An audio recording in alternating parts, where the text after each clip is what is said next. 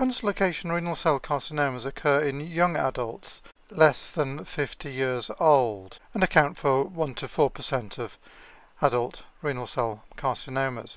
However, they account for around 20% of renal cell carcinomas in children. And the tumours are characterised by gene fusion involving the TFE3 transcription factor gene.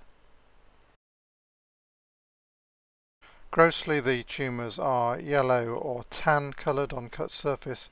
Foci of hemorrhage and necrosis are common, and the size ranges from 3 to 14 centimetres, and the tumours are surrounded by a fibrous pseudocapsule.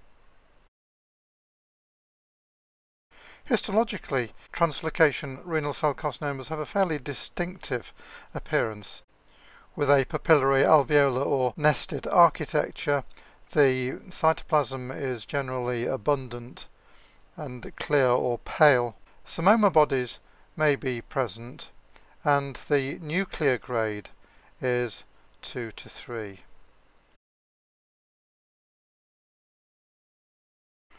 This area of the translocation carcinoma shows an alveolar pattern.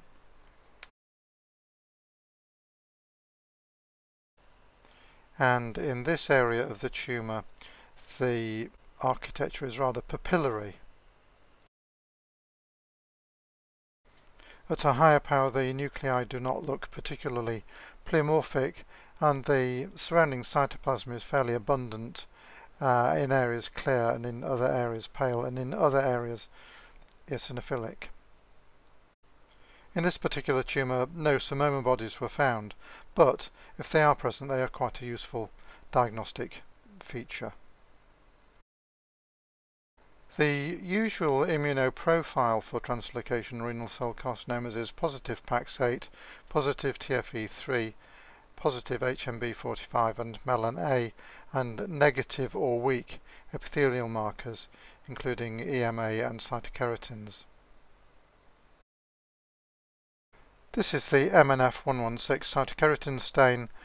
The tumour shows very weak or negative staining for cytokeratin, but the residual kidney tubules on the left side of the picture show strong positivity.